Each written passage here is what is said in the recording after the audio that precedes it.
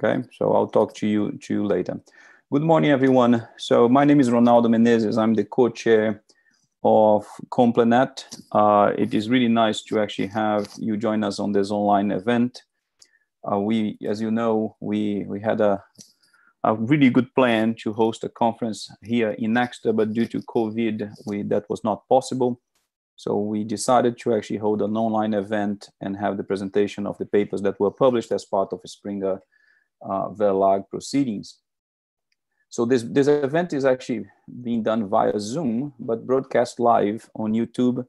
Um, and before I actually talk about some um, uh, um, just housekeeping uh, rules, I'd like to, of course, thank all the sponsors of the event uh, that include the Springer IOP Publishing, um, Communications, Physics, the Alan Turing Institute, the London Mathematical Society, and the institutes in Exeter, the Institute for Data Science and Artificial Intelligence, as well as the Global Systems Institute.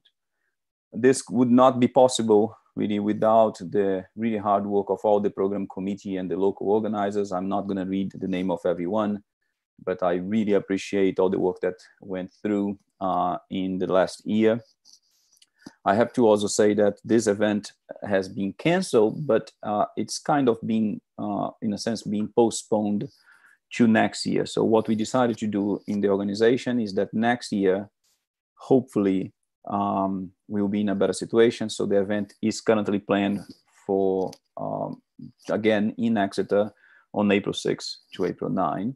And the website for that event will be uh, uh, up on the website as soon as the live event um, actually um, is done. So um, the program was prepared by the, uh, our program chairs, Hugo Barbosa, who's here, and Jesus Gomez Gardeñes, who was not able to join us. But again, my big thanks to, to them for, for doing all the work as well as Bruno Gonçalves, who put together the, the publication of those papers. So we will actually have five sessions in this event. Um, and we try to, to accommodate the requests on the time that you wanted to present. So there was a survey sent, and as far as I can tell, everyone is presenting in a time that they said that they could present. So we have a first session that will start in a few minutes with four presentations. Um, then we have a, a break for lunch um, and um, we will have um, a session starting at 1.50, um, then a, a, session in the afternoon starting at 3.40 p.m. Right, so there are four papers now, four works. There will be four papers in the afternoon and there will be four papers in the session uh, at the late afternoon. And we will have two tomorrow with three papers in the morning and uh, four papers in the afternoon. So what I'm asking people to do as just uh, some housekeeping rules is please uh, try to keep your video and microphone off for the Zoom participants. You probably cannot turn your, your sound on because I disabled that, uh, but you can probably turn your video on, um, which there is no way for me to disable, but please do not try to keep that off so that it does not interfere with the presentation, uh, the presentations. You can write your questions in the chat and the chair of the session, I will be chairing the first session, will kind of either read the questions later to the speaker or enable the person to come in and ask the question directly if, if appropriately. Um, speakers, if you are there, uh, you will soon, I uh, see that um, Batyr just joined us. So uh, they will soon be made co-hosts which means that you'll be able to share the screen like Michele is doing right now. Uh, the speakers have 15 minutes, and then we will follow up with five minutes of questions, right? Um, there will be, of course, time for a handover between one speaker and another, but I will make sure that everybody gets their 15 minutes. And I do please ask the speakers in the session to uh, respect the time because there is somebody else that needs to present and we try to actually uh, stay within the parameters of, of the, the program at this point. So I appreciate you all being here again. So we will start in approximately three to five, uh, three to five minutes with a presentation called Group Cohesion Assessment in Networks, uh, and it's being presented by Michele Malgeri uh, from University of Catania, if I'm not if I'm not mistaken. So we'll be right back with you uh, in in a couple minutes. Thank you very much.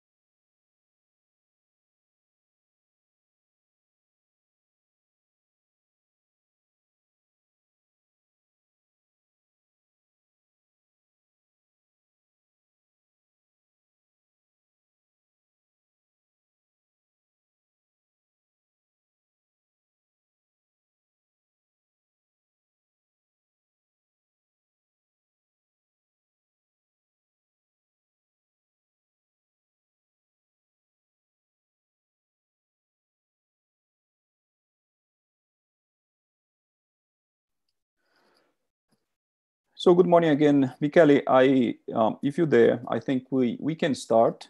Uh, if you are able to unmute yourself. So Michele, I will try to keep track and of time, and I will probably come in very discreetly when you have five minutes left, and just say you have five minutes left, and again when you have one minute left. Thank you very much. So the floor is yours. Thank you. Thank you, Ronaldo. Good morning, everybody. So I am Michele Malgeri from Catania University and the paper I'm going to present is titled The Group Cohesion Assessment in Network. The, this paper, uh, sorry, cohesiveness. So we try to introduce a new concept to the network, or really not to the uh, concept, uh, that aims at measuring the coherence of the node that belong to a, a, group or, uh, inside the network or, or several groups inside the network the capability to measure coherence among groups, either in natural present or imposed by external uh, construction, it is a, a, very important problem in various domains, such as trust network. We will use in the experiment in this paper that uh, is at the end of this presentation the trust domain, but the properties are quite general and can be simply applied to any uh, network that can describe by the direct graph. So, some motivation about, uh, uh, about the proposal. Uh, we start from a metric that we introduced in the paper that is uh, that you can see in the bottom of the, the slide that uh, was titled Overcoming the PageRank Normalization Problem. In that work, we proposed to solve the problem of normalization of PageRank by inserting one special node, a box node, that we call the black hole, uh, since uh, it collects all uh, um, values as black hole uh, do with light, and adding a weight transformation on that keeps network adjacent matrix stochastics in order to uh, apply regular matrix uh, based on that uh, properties. That the transformation uh, of the weights of the arc that originated from any node allow us to solve the normalization problem, but it does not preserve the out strength of the node. So our goal was to maintain the difference between the absolute value that in some sort of way was hidden by the page rank. Therefore, we added this node and uh, make it able to absorb the lack of uh, strength, thus guaranteeing that the sum is always equal to one. And uh, this means that the, uh, every node will be connected to black hole with a strength of one minus s con i. This is the uh, formally expression of the black hole matrix.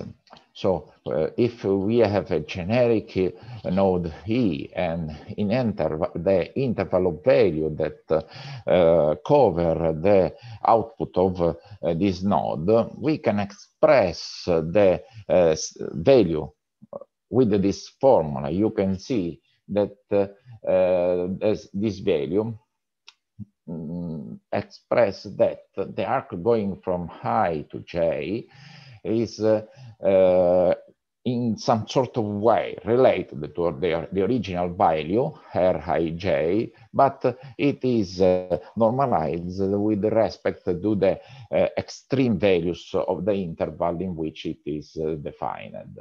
Then we can also uh, calculate the contribute of the value absorbed by the black hole in this uh, is something like a sort of complement of value.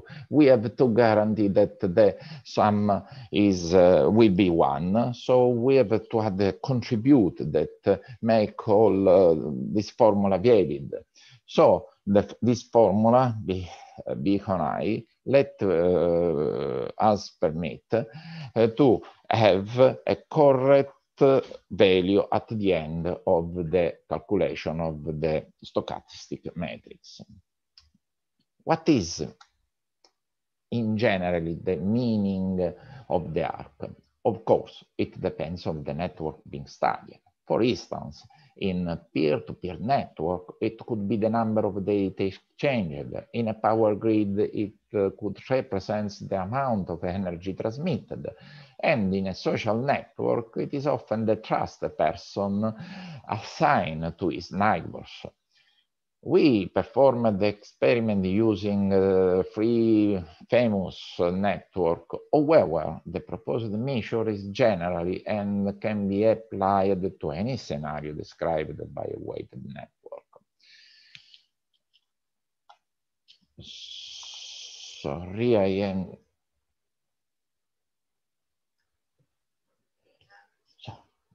what we observed that the uh, rank of the black hole only depend on how much the source nodes trust their respective neighbors. It means that the higher is the page rank value of black hole, the lower is the confidence in neighbors. So we want to define some uh, way to use these uh, uh, characteristics to measure how much they node have cohesiveness with their uh, related to the acquaintance or some uh, any other nodes. In order to do it, we have to extend the matrix.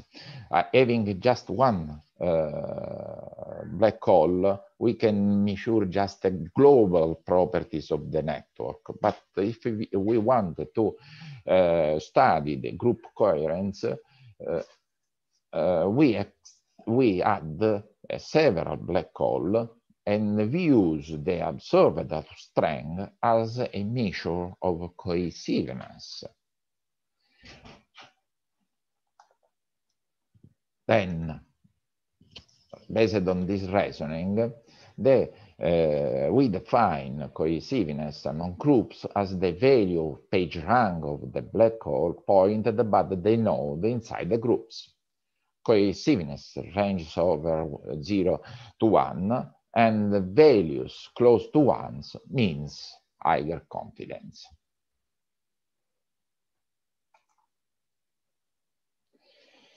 Just a little recall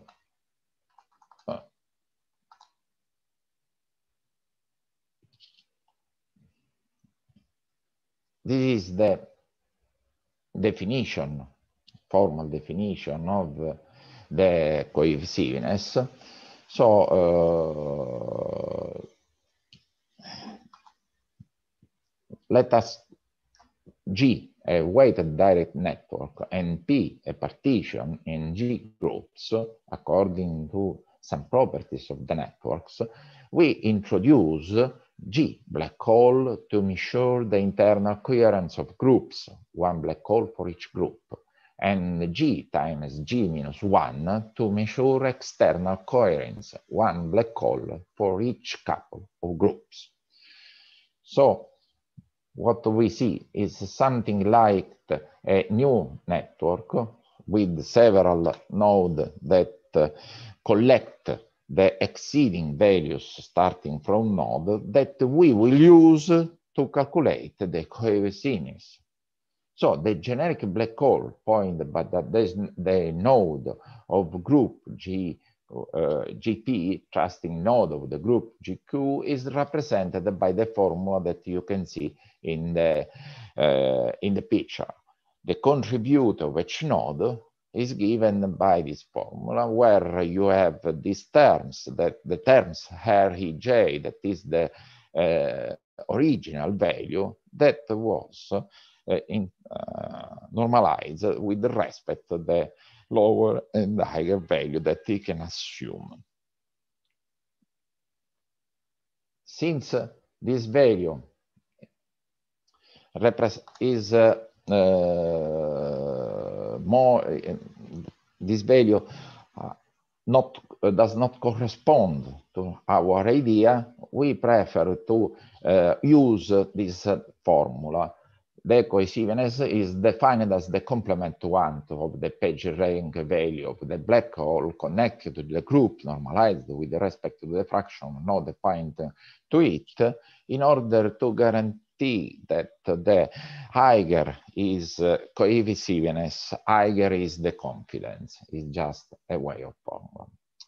In the following picture, you can see a representation of a toy example where we have just the group and the related black hole. Each, we have four black hole. Two will uh, are used to uh, measure the internal cohesiveness. What uh, this means, you can see this is uh, the lower left B11.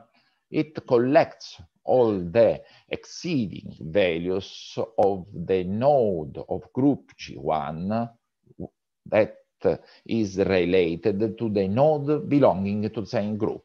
So we will need, as I explained before, just as black hole as the group has.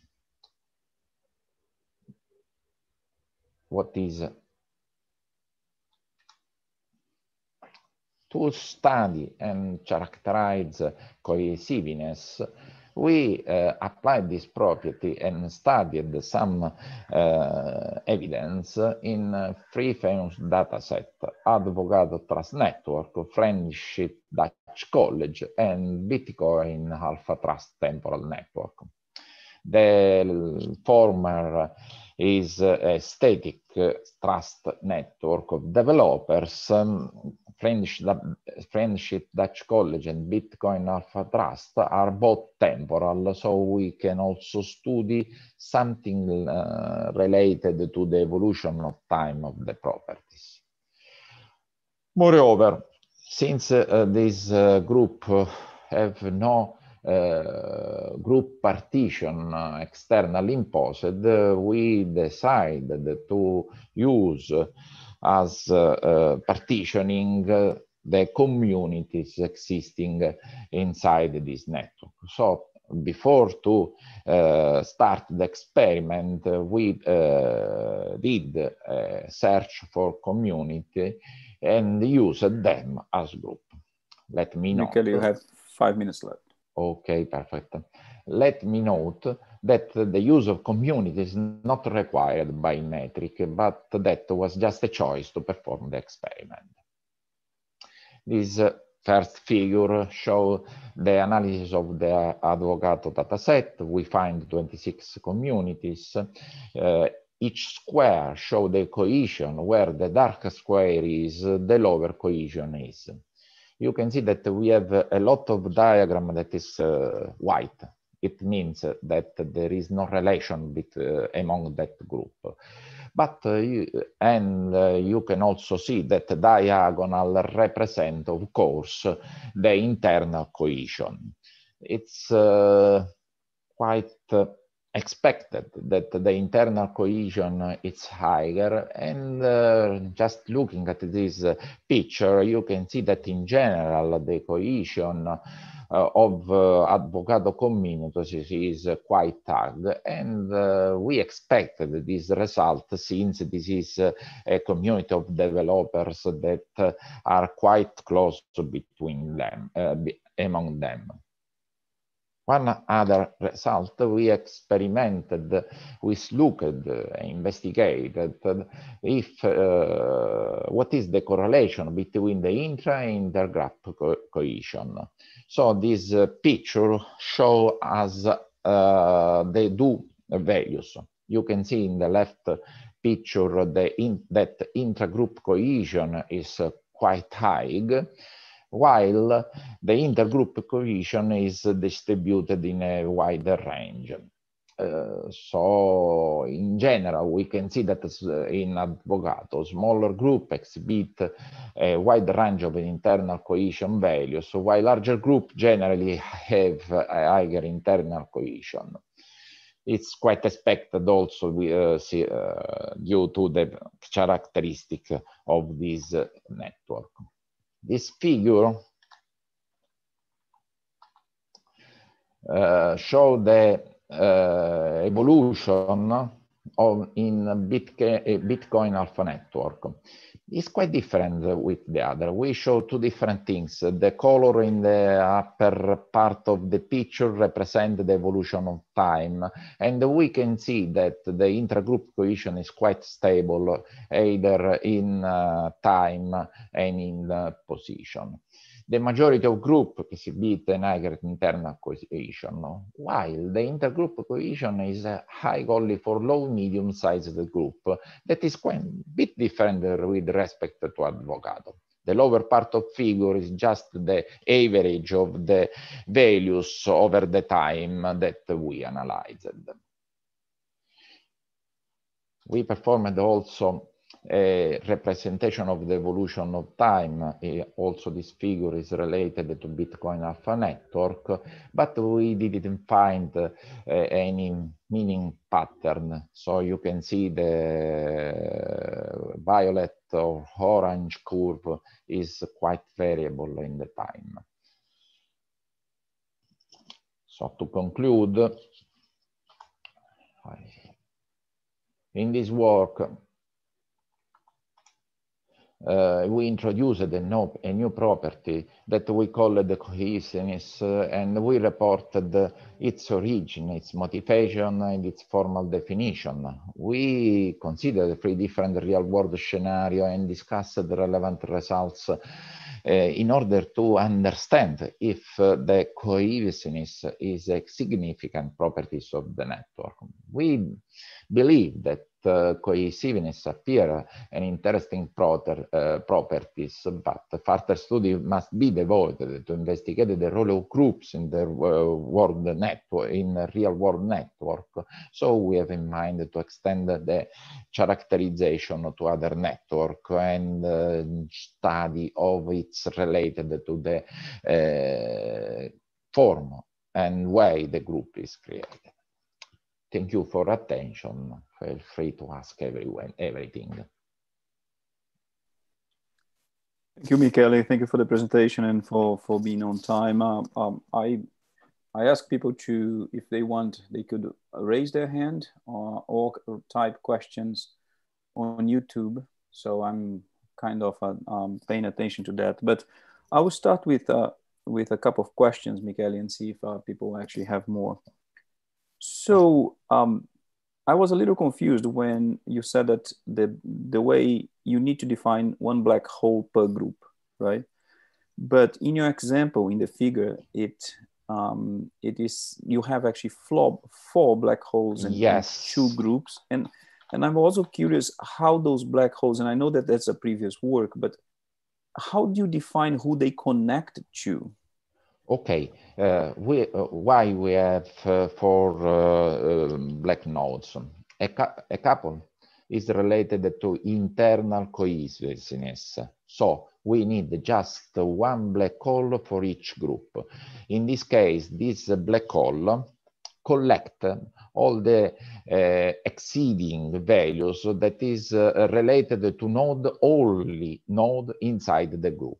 So for instance, if you look at the uh, lower left, you can see only arrows starting from node inside the group and it is related to the uh, value, uh, uh, the page, the black hole value that is related to the confidence of the a node inside the group to a node, a, another node inside the group. So we have just one for this group and another one for the group two.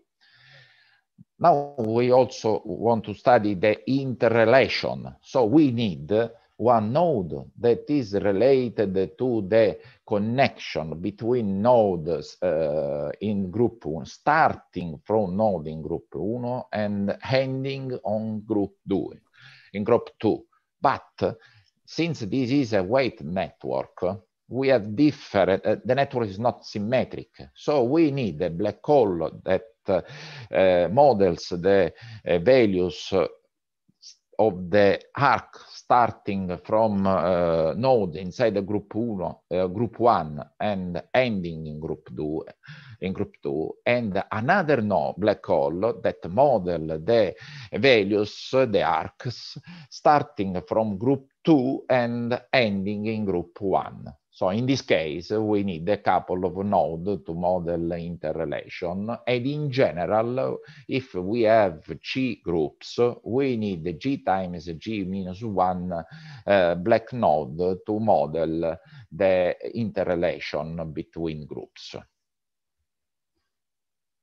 All right, I, I understand. So, so my other question, Michele, it's related to, well, it's, it's actually a, a two-part question, right? So one is that um, you proposing this new metric, but there are other metrics in networks that somewhat capture how tightly connected um, groups are.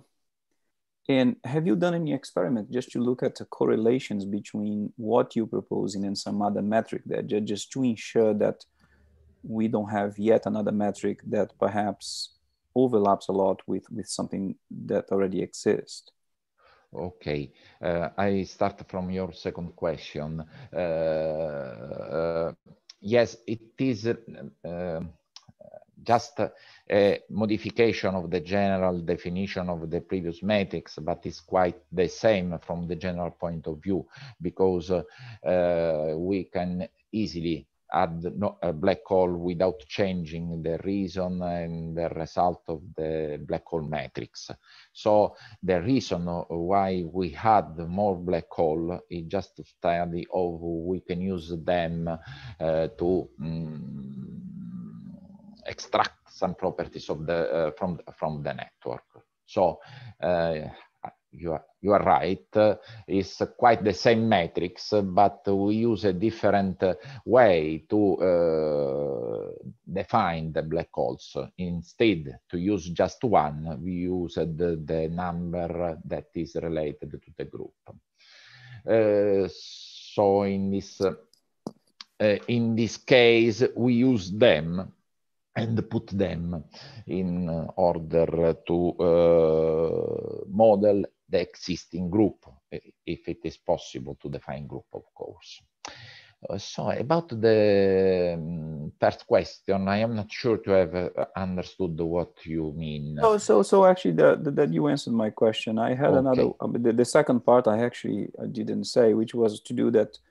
You you have the inter and intra um, yes. group, and I was wondering if this could be coupled with some sort of optimization process where you naturally find the groups that minimizes the intra maybe uh, could be interesting. Of course uh, uh, we can uh, use these properties in order to try to optimize group to find them.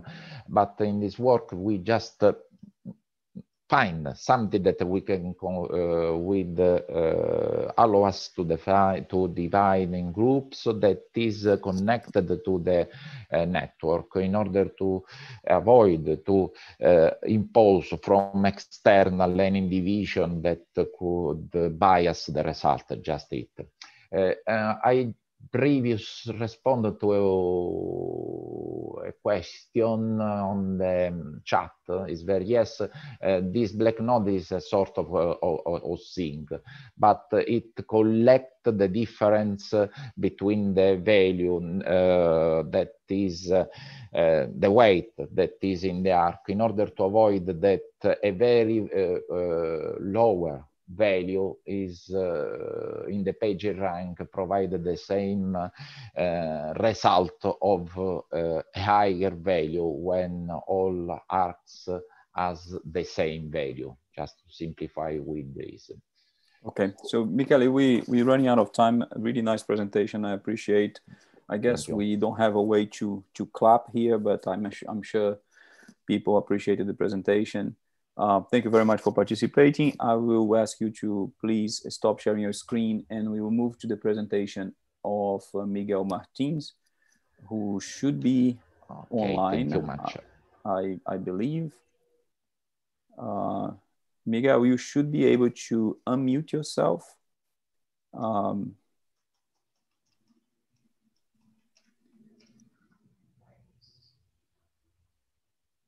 Hello, good morning morning, Miguel. So, um, if you can try to share your screen. And yeah, yeah. Um, so you should be able to do that uh, because I put you as, as co-host of the session. Um, okay. Just and moment, there was please. a there was a request uh, for people, and I'm sorry, Michele, that I didn't say this. That although I asked people to stay with their camera off, so I'm actually going to put my my camera on here so uh-huh. that they would probably connect better to the speaker if you're comfortable sharing your video right? So if you okay doing that it's up entirely up to the speakers. So if you're comfortable doing that uh, uh, miguel please do. If you if you're not comfortable it's okay as well okay? Okay. So hopefully you can see my screen. Like we can see your screen and you can see uh, yourself as well. Okay good. So, so miguel good. so 15 minutes followed All by right uh, five minutes of questions. And thanks for being here. Floor All right, my pleasure. So good morning, everyone.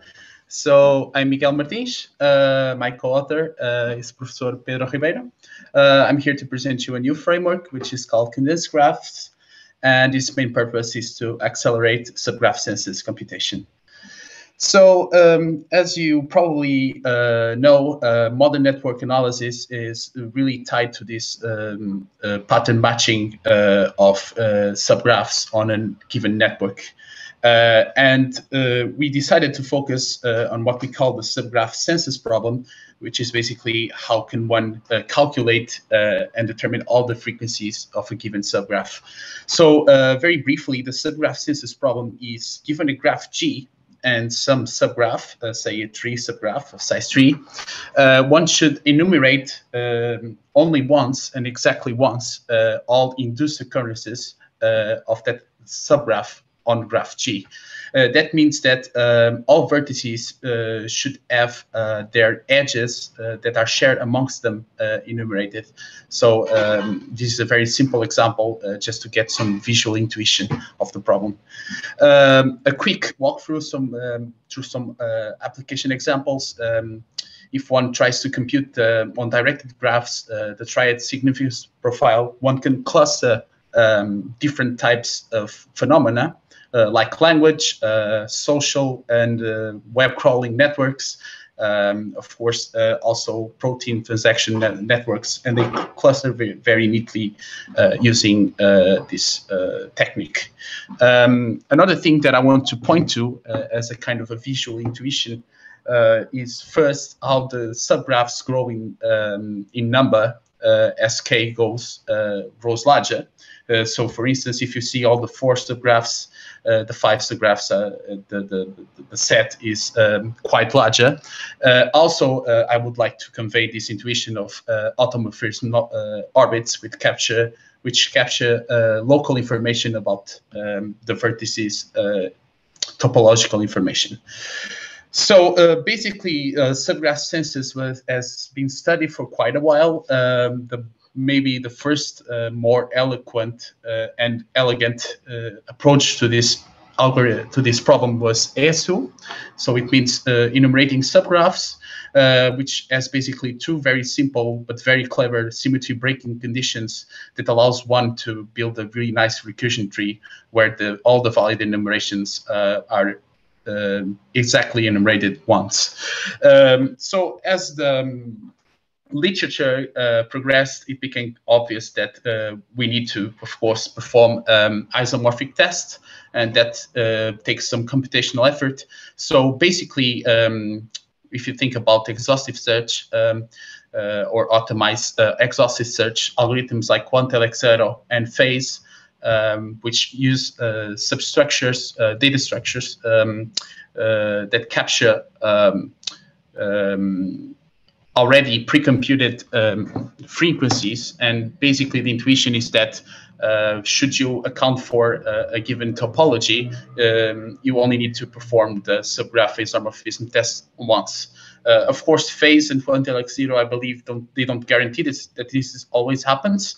Uh, there are algorithms such as G-Tries that uh, guarantee that uh, that only happens once, uh, but they rely on a very intricate set of conditions and a set of subgraphs in order to enumerate the series.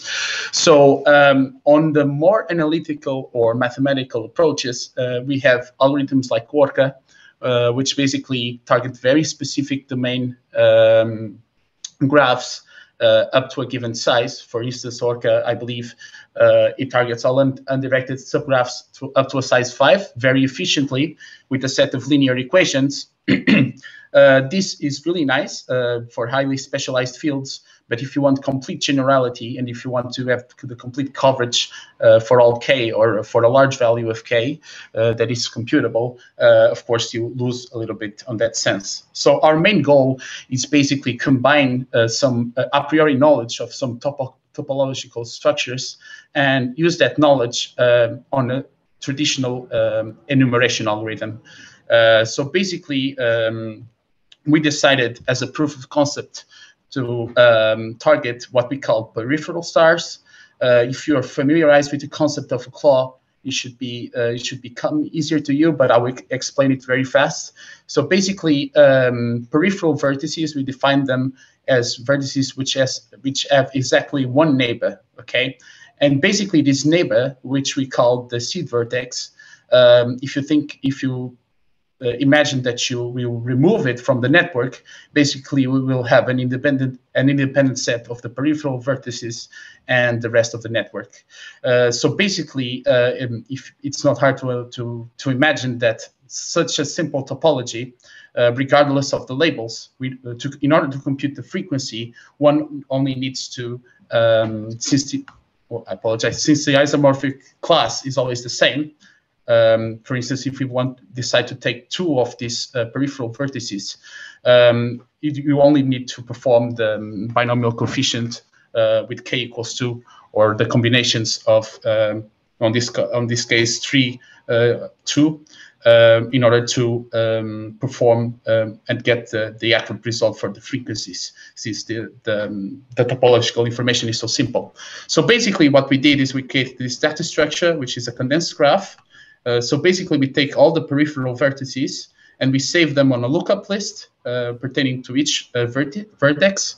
Um, we also made sure that the label um, order is kept intact. So uh, as you can see, for instance, here we have three peripheral vertices, uh, which are saved here as three. And for instance, here on vertex X, uh, 8, uh, it gets mapped to 3, we get 0. So basically, um, in order to extract the frequencies, uh, it becomes really trivial after you have this uh, intermediate representation. So basically, um, if you're trying to, for instance, for the subgraph, which is already on the condensed state, and it has five peripheral, vertices on uh, vertex label three, um, if you don't want to uh, enumerate any uh, peripheral vertices, uh, of course, you account for zero, and the binomial coefficient is defined here. Uh, it outputs one by default. Um, of course, if you go to four subgraphs, you would need to take one from here. So there are five possible vertices, and of course that um, multiplies the frequency of this subgraph by five. Uh, and this follows for, of course, if you want to take two, you take the, the five peripheral vertices and you do the combinations two by two. Uh, and this goes on uh, until five, of course. Uh, so basically, the, our, we build this condensation decondensation framework, and we use this very simple topology just as a proof of concept. Uh, here, SK of U um, represents uh, this array over here. So um, the, one of the, the main innovation here is that typically enumeration algorithms, uh, they only add frequencies, uh, um, they only add one in the frequency. So they only enumerate one uh, uh subgraph per uh, recursion branch. Here we can um, uh, extract several frequencies given this topological knowledge. So the only thing we need to do is, uh, okay, we have a valid uh, enumeration or partial enumeration. We need to know how many vertices one can enumerate. So this is the minimum of the number of uh, available positions we have on the partial uh, enumeration set and the size of our um, seed vertex or peripheral star. So after that, we can extract trivially the, the, the labels. And basically, um, as I explained before, we just we just update the, the current frequency by multiplying each of the um, each of the of the partial frequencies by the appropriate binomial coefficient. Uh, just um, a set of uh, intuition uh, about the binomial function or binomial coefficients. Of course, this is a discrete function, but for just for clarity, we plotted as a continuous one. Basically, the optimum value for k uh, it's always at n over 2. So for instance, here we have the binomial function uh, for with um, the upper index of 100. Uh, if we analyze the, the, gradient, one can see that um, there's really this high and steep um, increase on the number of the binomial coefficient. So it means that as we get closer to the maxima, we get um, exponential benefits in a sense. Uh, this is, mm, if you look uh, uh, here, uh, as the maximum grows, if we take the value that maximizes the binomial function, so every k, we can see if we plot the log, the log on a log scale, the, bin, the, bin, the, binomial function for uh, several values of n, uh, we can see uh, that um, this value also is exponential. So on a log scale, it takes a single line. So uh, here I just present a subset of, um, of our results. The rest are, on the paper.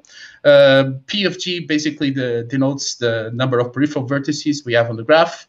The compression ratio is essentially um, the size of the condensed graph, uh, the, the ratio between the size of the condensed graph with the original graph. Uh, we don't account for peripheries of size one because they don't they don't bring any benefits. And um, as a lower uh, bound of performance, we also uh, took the measure of the maximum star that we found. Um, so um, basically here uh, we decided to adapt uh, two algorithms. So FaSE is a more state-of-the-art algorithm, uh, more robust, and e ESU is basically the classical, traditional, and elegant uh, exhaustive search algorithm with symmetry breaking conditions.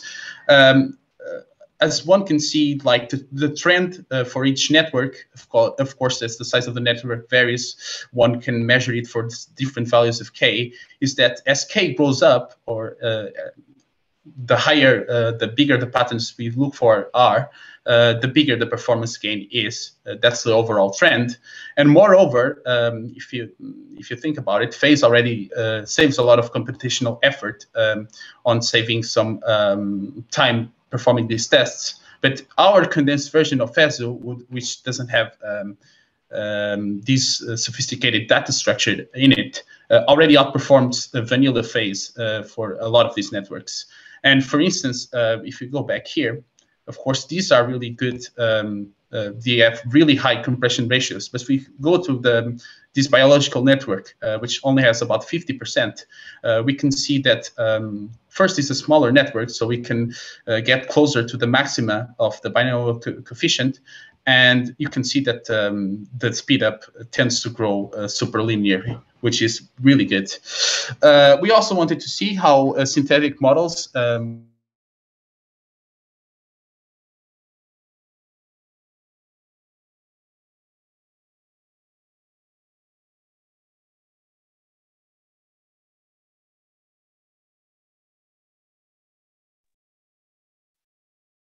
So I believe we lost uh, Miguel. I don't know if uh, someone on the chat can tell me if uh, this is just for me.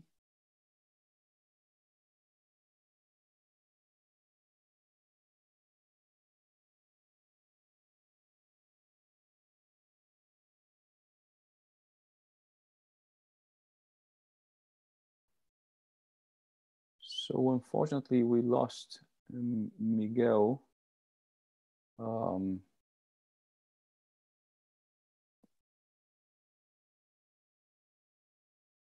so the we hopefully he will try to to rejoin. So if you're joining us now, I mean we um, we lost uh, Miguel Martins on his presentation.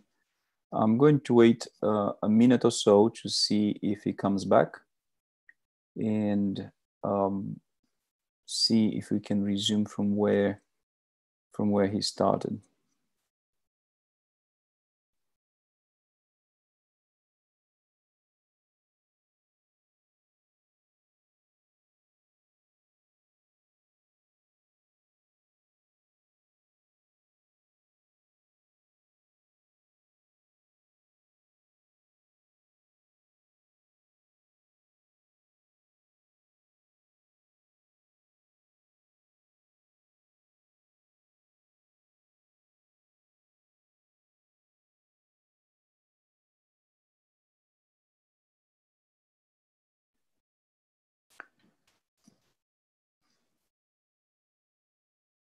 So I wonder, um, I'm going to ask if Hugo could try to contact Miguel, maybe offline.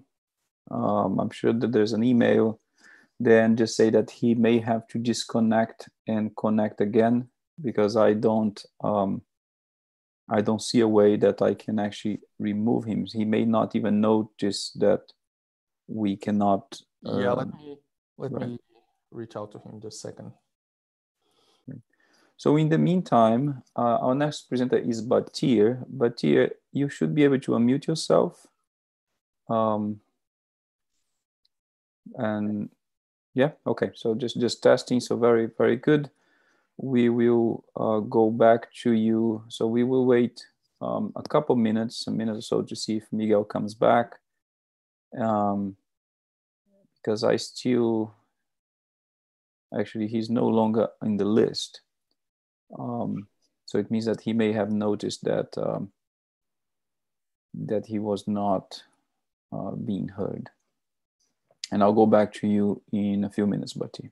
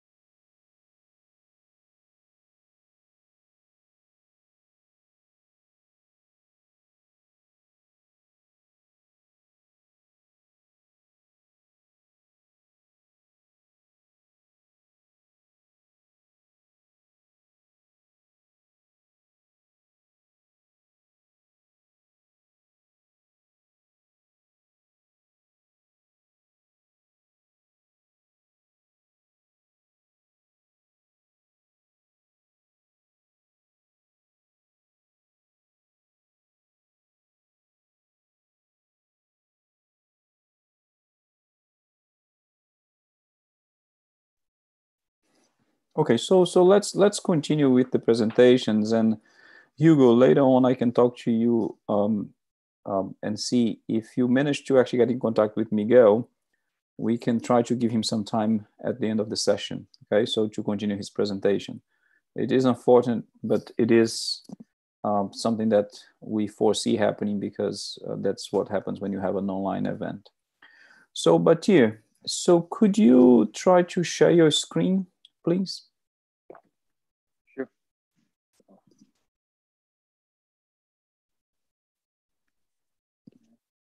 Yes, perfect. Um, and uh, we can see you as well.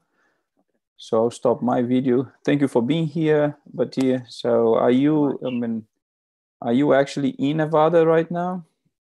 Uh, I'm actually in Atlanta right now for summer.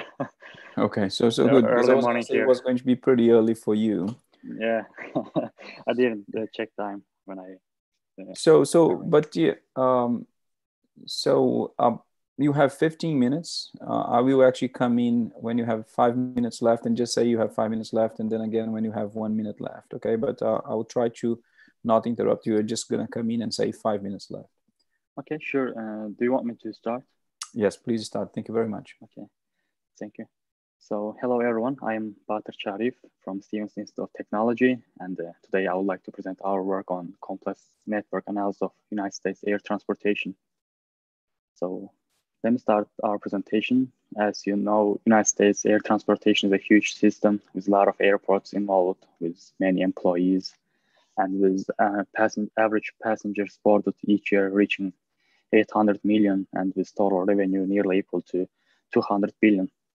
So in our work, we try to analyze the, we try to make complex network analysis of this complex system.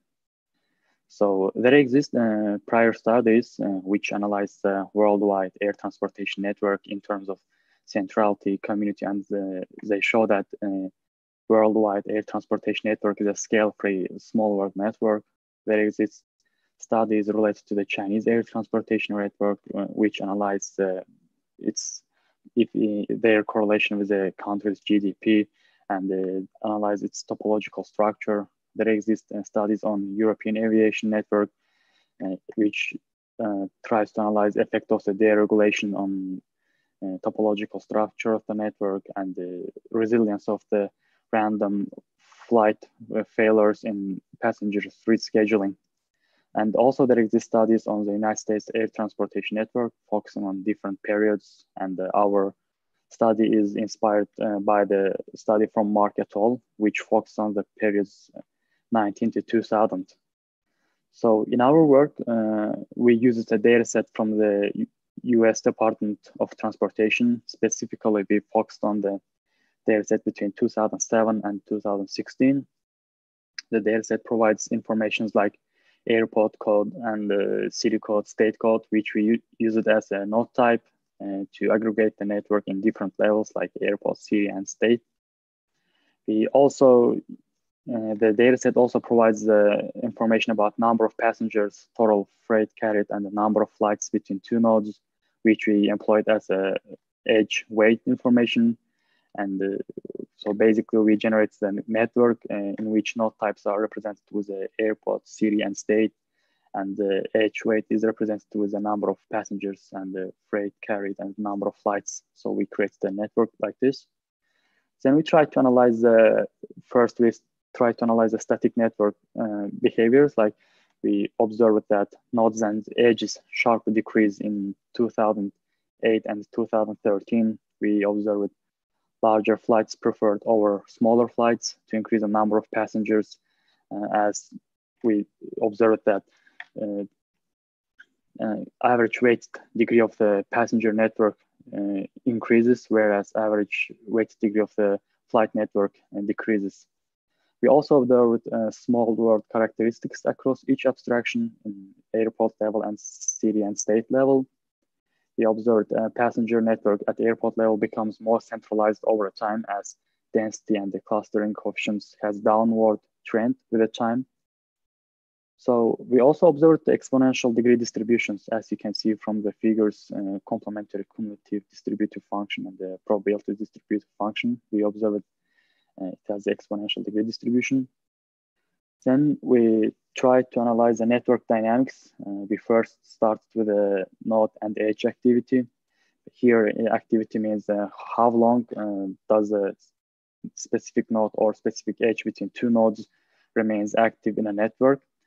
So we observed that most of the nodes uh, in each abstraction, city, airport, and state level, they remain active. Uh, I think it's expected, and as uh, there, it's expected that there will be some flight in from if there exists airport, there will be some flight in each air, right? So uh, they remain most of the time active. But for the edges, uh, we observed that most of the edges are active or inactive for the short period of the time, and uh, we also observed that uh, there exist a large number of edges which are continuously active during the 10 periods, 10 year period. So these edges might be between large cities or between major airports. So then we continued uh, to analyze the appearance and disappearance of the edges uh, in terms of their weight. Uh, it will show us if there's a correlation between the stability of the link and its weight. So to do that, we tried to use uh, fraction of appearance and disappearance. Uh, fraction of appearance is computed by the, computing the number of links with uh, weight W, which are not active at time T1, divided by the number of links with weight W at time T. So fraction of appearance and disappearance will show us uh, if there's a correlation between the weight, uh, weight of the link and its uh, stability. So overall, we observed that uh, fraction of appearance and disappearance decreases as link weight increases. Uh, this means that uh, higher uh, edges with higher weight uh, are more stable. Uh, they they are more stable in a network. If they are observed in previous years, they are most likely to be observed in this year too. For example, for flight network at airport level, we see downward trend basically as weight increases, uh, the fraction of appears and disappears decreases, meaning that uh, this uh, edge with this weight are becoming more stable. For freight network, we observe a similar pattern, but there exist very large weights which are not stable. But however, probability of observing such weights are low. this might be due to some econo economical reasons. Uh, for passengers network, uh, we see that as weight increases, uh, the fraction of appearance and disappearance decreases, meaning that more stable. I think it's reasonable because uh, if the number of passengers in a given flight, there, if there is a lot of passengers for a given flight, it will it, it's more it will be more stable, right? Why will someone cancel or reschedule that flight, right? So then we try to analyze how uh, edge weight uh, grows uh, once uh, edge becomes inactive, how its uh, weight changes. So to do that, we use a uh, growth rate function, and we observe that for most of the weights, for most of the edges, once they are becoming active, their weight increments are small. But we also observe that there exists sudden large increase in or decrease in weight of the edges uh, with uh, non-negligible probability. We can observe such uh, links with non-negligible probability. So we observed uh, similar behavior for the other abstraction levels like city and state level and uh, previous studies that focus on uh, data between 19 to 2000, uh, they also observed the similar behaviors in their analysis. So then we analyze the network backbone. Uh, to do that, we use a disparity filter. We basically generate the network backbone for each uh, network in each year. And we try to compute uh, their overlap by using the, by dividing the intersection of edges um, with the union of the edges. Uh, for two consecutive or for two uh, backbones. Then uh, for city and the airport level, we observe that the overlap is usually is most of the time high. But for state level, we observed that uh, when we put it to color coded matrix, we observed that there exist distinct uh, partitions in, in, in 10 year period. Uh, for example, as you can see from the, from the uh, flight network in state level, the left, leftmost figure, we can see that uh, color-coded matrix is divided into two partitions from 2007 to 2011 and from 2012 to 2016. And the, network backbones in each partitions are more similar within each other and uh, more dissimilar with the network backbone from another partition. So we think that during the 2011, uh, from 2011 to 2012, there might uh, ha might happen uh, some infrastructure change, uh, which impacts the network, which make may had an impact, enduring impact on the network backbone. Similar observations were ob observed for freight network, uh, as you can see in 2008 to 2009, for passengers network from in 2012 to 2013. So we tried to analyze uh, the net uh, centralities of the nodes in, during that period. For example, for flight network, we said that network backbone changed uh, from 2011 to 2012, and uh, we try to analyze how centrality of the uh, nodes uh, change, ranking of the centrality of the nodes change during that period. So this is a degree centrality for flight network. We can see that the uh, degree centrality of the California and the New York uh, decreases, uh, degree centrality of the Texas increases during that period. Uh, we, we also see that uh, degree centrality of the of, ten, Tennessee also decreases a little bit. when we look at the freight network, we observe that degree centrality of the Georgia drop, drops, degree centrality for Kentucky also drops, and the degree centrality for California increases. And for passengers network, uh, we observed that California's degree centrality uh, drops. For Florida, degree centrality increases. For Michigan, degree centrality drops. So uh, this is a this can be further explored to understand uh, what might happen in during those periods which uh, lead to the network backbone change so this is uh, open to further investigation. Five so minutes, but okay, I'm almost done. So to conclude, uh, we tried to analyze complex network of United States aid transportation from 2007 to 2016. We observed that it has small world network characteristics with uh, exponential degree distribution. Most of the links are continuously active or inactive for short periods of the time stability of the links increases as their weight increases usually.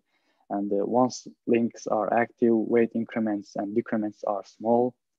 And there exist distinct periods in which uh, backbone of the network in each abstract abstraction level changes drastically. So this is the end of my presentation. If you have any questions, I will be happy to answer your questions. And uh, thank you for attending our presentation. Thank you.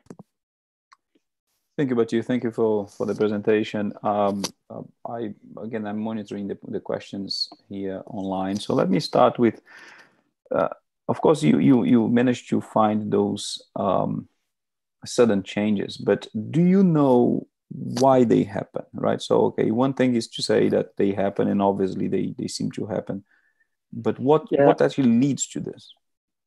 So. Uh Actually, we don't know what happened, and uh, we are trying to further analyze uh, what might cause it to these changes. We started with the central analyzing the centralities of the nodes uh, in uh, like be, betweenness and the degree centrality, weight, uh, weight, average weight degree centralities, page ranks, and we try to analyze those things to, to further, for example, to if, if we observe that California's degree centrality drops sharply, what might cause it uh, for degree centrality to drop sharply in that year, specific year? What happened?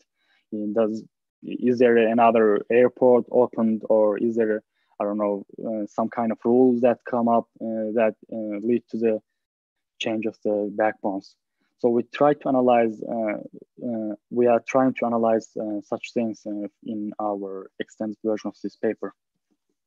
So, so um, one thing that I would suggest is that it may be possible for you to actually locate specific events that are important for for the airline network, for instance, that in the opening of an airport, as you said, or a company that established a hub And once you know the ground truth, right, and because you know what actually happened, then you can see if this is somewhat um, reflected in, in your analysis.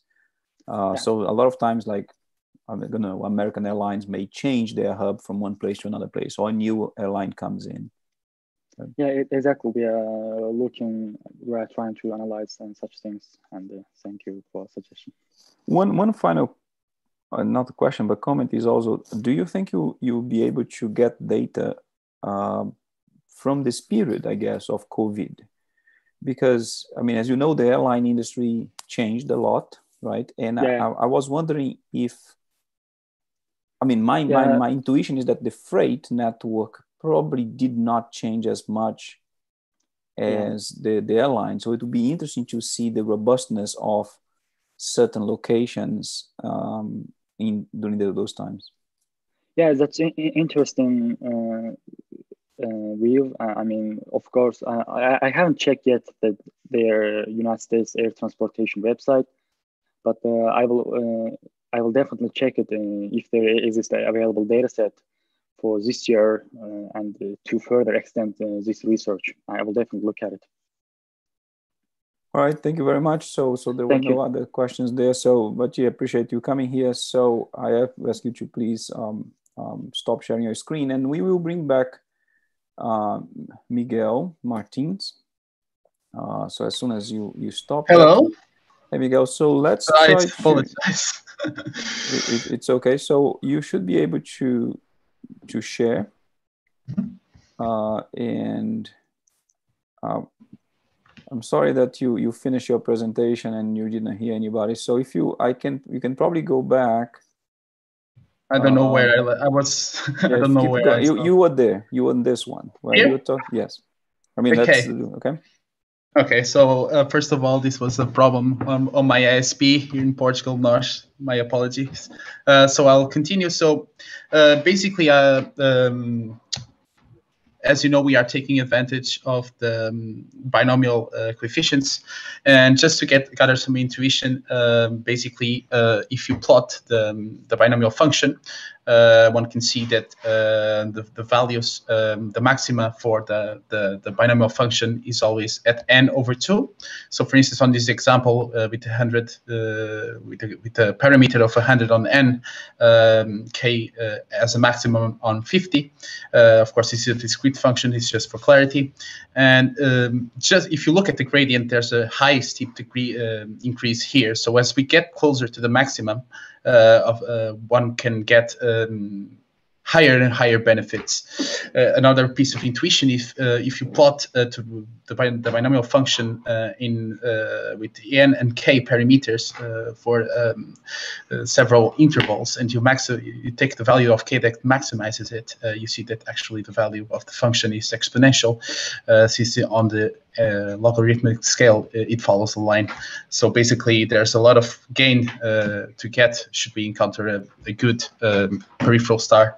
Uh, so basically, um, this uh, this is a subset of the results we have on the paper. Um, basically, uh, P of G denotes the peripheral vertices, um, and the compression ratio is basically the size of the condensed graph, uh, the, the, ratio of the size of the original graph with the condensed one. And here we don't account for peripheries of size one because they don't bring any computational benefits. Uh, so it's really um, um a decent estimation uh, of the compression uh, we get. Um, and basically, the maximum star, uh, if you think about this, is like a lower bound uh, uh, of the performance gain one can get if we only to think of the max maximum star. so basically, there are two trends, basically that you can identify. First, I should clarify that we uh, compare uh, our framework. Uh, we used ESU, and we apply our framework here and FaSE which is a, a more sophisticated state-of-the-art algorithm uh, and we applied uh, our condensation framework on top. So the first trend we can see is that uh, if we compare the same algorithm to the condensed version is that um, the trend tends to uh, be uh, increase with k. So this follows a little bit of our intuition. As k goes high higher uh, the speed up should increase. So this is on FaSE, this really uh, shows up. Uh, of course, on social networks, as the retweet uh, network of Obama and the Facebook uh, sample, um, one can expect influencers to emerge and so on. Uh, but for instance, um, in fiber tract, um, brain fiber tract networks, although the, the compression ratio is higher, the stars are not so big and the, the speed up is not as um, as pronounced, but it's still um, quite high. So uh, just to you can see here we have five orders of magnitude here we can manage three. And even on gene fusion uh, which is basically a gene interaction network network where the compression ratio was only about 50 percent um, we can see that um, the speed up uh, as k um, tends to the maxima um, of course it gets better. Also, a really neat um, result we got is that sometimes, you know, ESU is really uh, slower than FaSE by default, but our condensed version of ESU also uh, outperforms by quite a while, by um, uh, FaSE, vanilla FaSE. So that's another interesting idea that the bulk of the computational computational uh, effort is saved uh, for these networks um, under um, our framework cannot the sophisticated G-Tries of FaSE, uh, which is which already cover a lot of corner cases. So this was a very good result and surprises surprised us. So uh, it's always good to have synthetic models just to validate a little bit results. Uh, we experimented with uh, Barabási-Albert models uh, for scale-free networks, uh, all of them with a thousand uh, nodes and um, we also um, use Holme-Kim model uh, where P models the probability of a, of a, vertex at timestamp t on the graph evolution, uh, forming a, a, a triangle. Uh, thus, uh, one can control um, the clustering coefficient. So the idea here. Uh, here we set p to 0.9, so 90% probability. Um, the higher the p, the higher the clustering coefficient will be, uh, the less beneficial it will be to have a condensation paradigm there. So we have also our best case, the random power law tree uh, generated model. Um, the, the most important thing here is the gamma, which is the parameter of the power law distribution. It is basically a random K-tree. So you can imagine that um, a lot of peripheries should emerge um, on this uh, model. So for scale-free, uh, three minutes. Mm -hmm. Okay three minutes? Okay i'm really finishing. So basically the results um, they are in compliance with what we found on the real ones. Um, also we were very surprised that the Holme-Kim model we were able to get speed up uh, for both uh, ESU and FaSE um, since the the, the the, the clustering coefficient is high and of course for the power law um, uh, distribution. Uh, of course, uh, the power law trees um, this speed up is really pronounced, but of course, this is really tailored to our model. So uh, it's no surprise that we have such orders of magnitude on speed up. So basically, uh, what we wanted to push is this idea of uh, given this a priori topological knowledge, uh, we can combine it with the uh, general enumeration algorithm. And as a proof of concept, we show that even these really simple peripheral peripheral stars can save a lot of computational effort and, and of course, we provided you with some uh, reproducible evidence. And to summarize, basically what we want to do in the future is basically target more induced um, patterns on the graphs um, of course, we can generalize this concept of stars to be induced inside the graph, but also cliques and trees. Uh, we are really focusing on cliques at the moment because of the clustering coefficient, for instance. Um, generalize this to a directed temporal multi-layer paradigm. Uh, for instance, the direct for a digraph is really simple since the lookup uh, is essentially you only need a lookup for the outgoing and the incoming uh, edges so it's really simple. And of course, if since all of these um, lookups are basically for the peripheral case, uh, they are basically vectors. Um, it should not be uh, too hard to parallelize parallelize this uh, framework. So that's something we are also investigating on the implementation side of things. So uh, these are my references, and I'll be happy to um, have your questions. Thank you very much, and sorry for the last interruption. Yeah, so thank you, Miguel, and uh, again, apologies that that we had to continue with the presentation in the middle, but I think no given the circumstances, uh, you you finished pretty well. So Miguel, um, of course, the, the issue with uh, with performance on dealing with large graphs is an important one, right? And I, I mean, and I'm interesting that you're trying to condense the graph. But the question is uh, a, a, an issue of equivalence, right? So if I if I uh, generally, for instance, if I take a large graph, and you mentioned in the case of, of Facebook that you may mm -hmm. want to find influences, right? So have you done experiments that the influences on the original graph, they remain the influences on the condensed version of it. Okay, so that's a very nice question. Uh, so you mean like, um, if you think about it, if you're thinking like about uh, undirected graphs with labels, um, although we didn't uh, target our experiments to in that sense, um, you only need to uh, save the lookups of the original properties. So uh, it's possible to retrieve the, the original labels if you save them intermediately uh, in linear space. Um, and any information pertaining to the graph uh, should remain the same as well. Uh, if you're talking about simple graphs, although we didn't implement it, um, I'm pretty sure that it's feasible. So, in, in another curiosity I have is that uh, so take for example a social network, right? So mm -hmm. we we could have a sort of a our lives is basically not one layer. You could, uh, like many papers do, you could draw my my connections from just work related connections and then mm-hmm. I guess personal related connections and so on. So if I take each of those layers and I actually do a condensation on the layers independently, if they all lead, uh, just as again assuming, to a same condensed version, do you know what would that mean?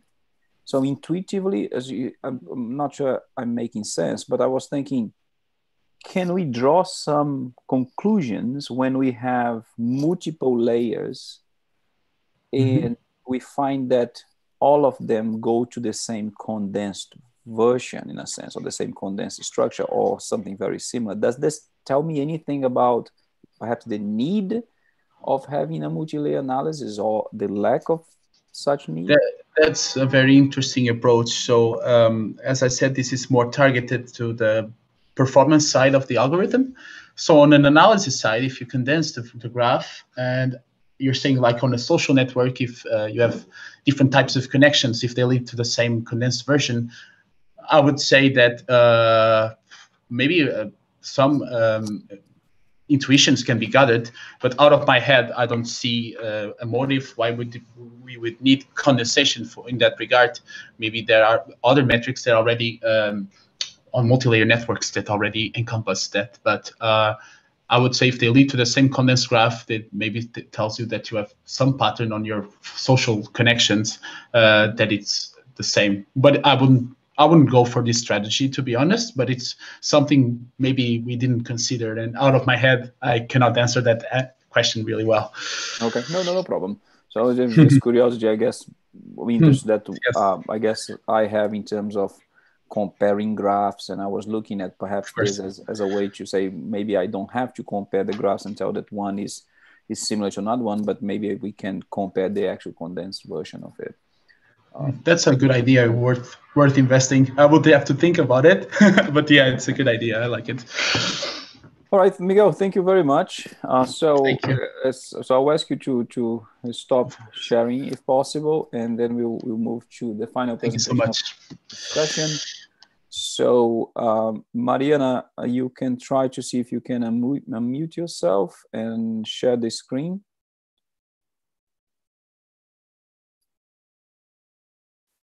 Okay, we see a screen of the program of, but not of your presentation. Um, just a second, thank you. Now thank you, you may be able to see it. We see it. So thank you for, for being here. I'm sorry for the for the delay due to technical problems. Um, so you have 15 minutes uh, and we'll follow up with questions. So the floor is yours. Thank you. Thank you, Ronaldo. So good morning, guys. Uh, my name is Mariana Macedo. I'm a PhD student in computer science at the University of Exeter. Uh, our work explores the gender patterns in the urban mobility of the metropolitan area of Medellin in Colombia. So the evolution of cities, cultural constructs, job opportunities, and technologies have been shaping our behavior. So division of roles in the labor market is one of many reasons why gender inequality exists. For example, women are underrepresented in top management and leadership roles. Our hypothesis is that those gender rooted disadvantages can manifest themselves differently in mobility. For instance, in literature, we see that women feel unsafe, especially on public transportations.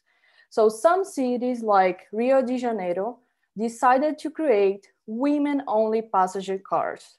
This action was also adopted by other countries such as Germany, Tokyo, Dubai. New actions like this should be adopted by our government to improve or try to improve any disadvantage emerged from differences on gender, race, age, income level, and so on. So those differences are not a new phenomenon.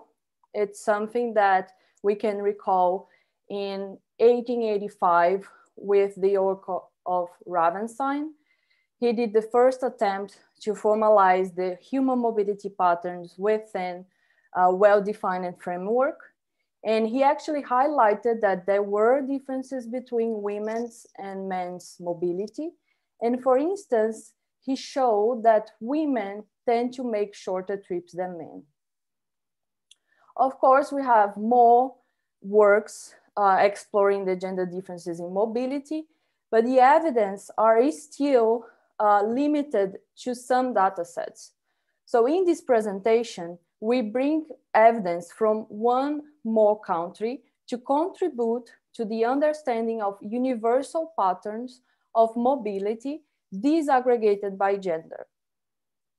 So our data set was collected by surveys from 2005 and 2017 in Colombia.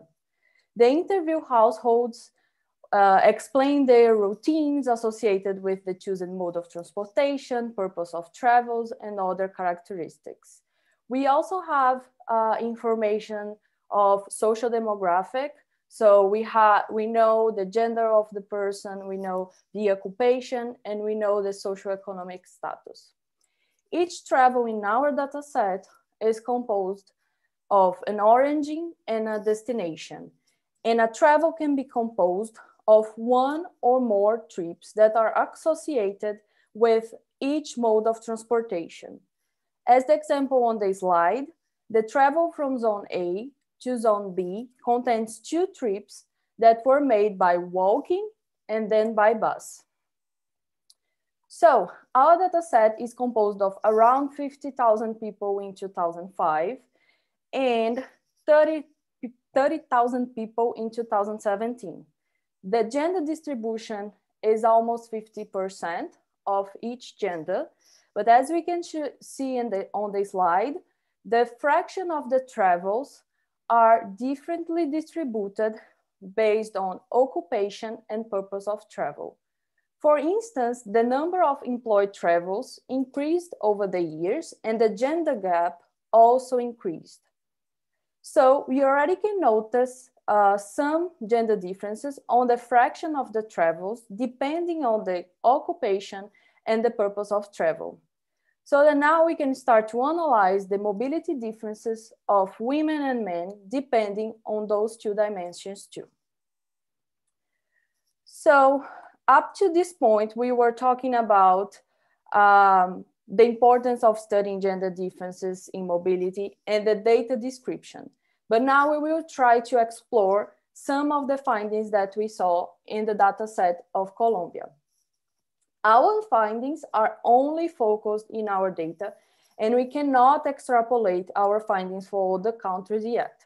So our future goal is indeed to explore more data sets and other types of differences, such as socioeconomic and age. We will start now analyzing some characteristics uh, of the space, and then we'll move to temporal characteristics. Sorry. Okay. So first, let's start with the spatial distribution of travels. On this slide, we can observe the area in which our data covers, the metropolitan area surrounding the city of Medellin.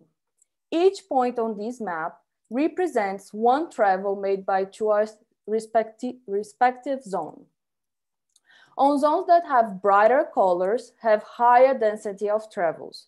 We can see that the zones in yellow represent the visited zones by both genders. Zones in red represent the zones that are mostly visited by women, and zones in green represent the zones that are mostly visited by men.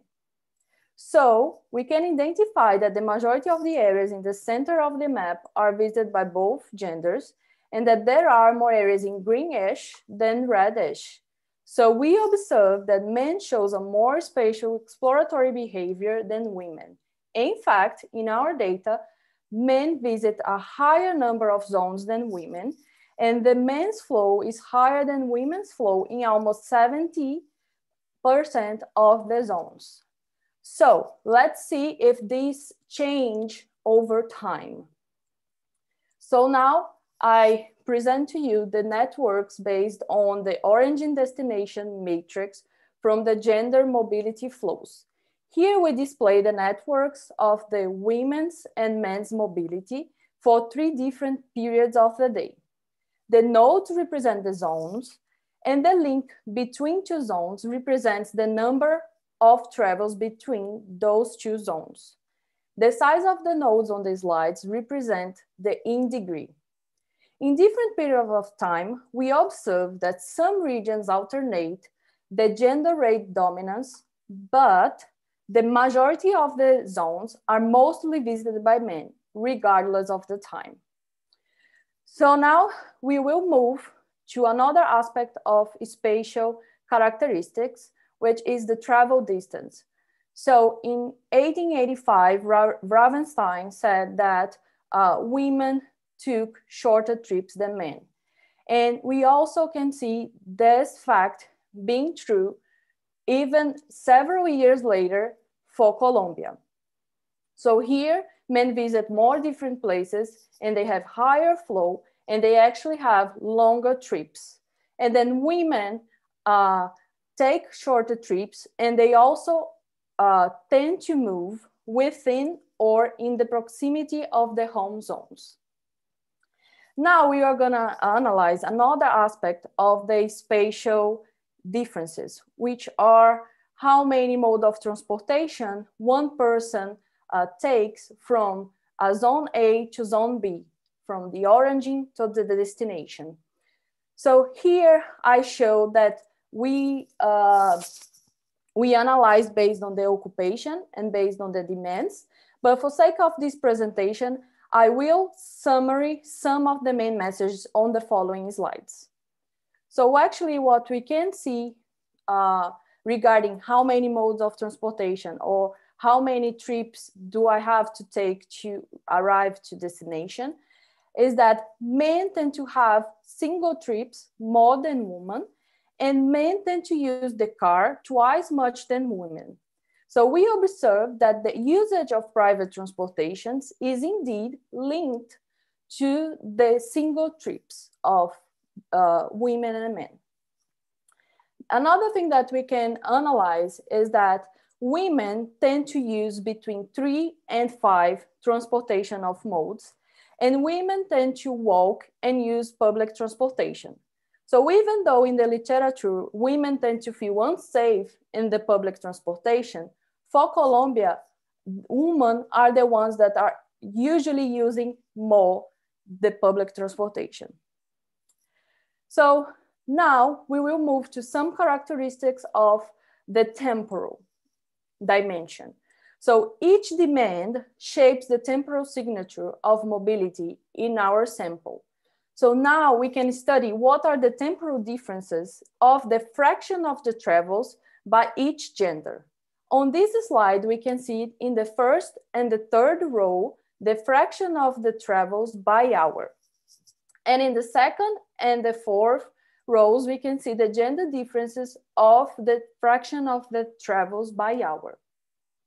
So first, let's observe that the signature in the aggregated dataset is not similar to each demand signature. In general, the aggregated behavior uh, shows a higher fraction of men's travels in the beginning and in the end of the day, and a higher fraction of women's travels than men's travels are observed in the middle of the day. Mariana, five minutes. Okay, thank you. Uh, then we analyze the three purposes of travels that represent together more than half of the travels, work, study, and home. They show accentuated peaks related to a business hours schedule and men leave, to, leave for work one hour early than women, which can be related to the fact that men go farther than women. Moreover, we can observe that the study is the demand, which displays the most gender balanced uh, fraction of the travels. Uh, finally, we can discuss some extra activity demand, such as uh, shopping, fun, and health, which shows a more diluted profile over the time. And specifically, we can see in shopping demand that there is, there is a shift on women's routine from 2005 to 2017. So now, as a summary, we could see some evidence on our data set from, of the differences between men and women. So women tend to have shorter trips, tend to move within or in the proximity of their home. They tend to use uh, several mode of transportation, mainly uh, they walk or they use bus. And men have longer trips, tend to visit more zones and tend to use single travels and tend to have higher fraction of uh, travels than women at morning and the end of the day. So finally, in general, we observe that occupation and purpose of travel are two key aspects to understand better and better not only gender patterns, but also general, uh, not gender patterns, but also general patterns. And our findings are in agreement with the recent paper using the dataset from Chile. So our take home message is that the urban mobility of Colombia displays gender difference, and we indeed can apply data-driven analysis and frameworks to better understand the women's and men's mobility to help preventing inequalities that they, we suffer every day. So our current goal is to study other data sets to better understand the generalization of the gender differences regardless of the countries. So uh, I would appreciate to answer some questions and I encourage you to give us some insights and ideas for our next steps in this project. Thank you so much. Thank you, Mariana. So we, we have a question um, that uh, I'm actually going to um, ask Marcus to come in. So, hi, can you hear me? Yes. Yeah. Uh, so yeah, Mariana, quite nice presentation. Um, uh, it is just a, a quick question because I was wondering um, about the land use distribution in the city, the spatial distribution.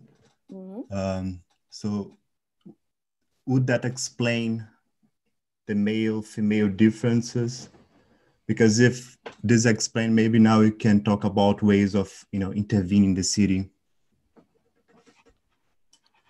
so if i understood correctly um, you are asking if uh, the spatial distribution over the entire region uh, is uh, already an evidence to take uh, some actions from the government. Um, I, I believe that we still have um, to study better the, the evidences in Colombia because our data set has, um, we only use the areas which we had uh, a consistent and robust number of travels so we still have some uh, empty zones on, on the entire region to understand the spatial distribution as a complete uh, scenario. But what I believe it's interesting for Colombia is that uh, they have this concentration in the middle of uh, the region. So they may have to uh, accommodate the mode, modes of transportation to be able to, to everybody access the, the middle of the country with the same um, equality. For example, women still feel unsafe to take public transportation and they don't know uh, they need some actions from the government to feel better using the public transportation because they are the ones that are using the most. Uh, one one evidence from uh, from the literature is that if you put uh, guards in the in the stations of the public transportation you indeed decrease the crime against women. So there are some actions that are possible to to to to take place but i believe we still have to study better the gender differences in mobility to actually have uh, a complete idea on what would be the best ac actions for the entire region Thank you, Mariana. So um, I don't think we have any other questions. I I do have a couple, but since I participated on the work, I don't think it would be fair to you. So um, I will refrain from asking um, the questions. So I'd like to end here the session. Thank you everybody for for joining in. Thanking the people on YouTube. We will resume with session two, chaired by Ana Maria Jaramillo uh, at 1.50 uh, UK time. Okay, so we will actually, I will start the Zoom session probably around 1.40 uh, just to make sure that people can log in. Again, thank you very much for con connecting and participating. I hope to see you later. Bye-bye.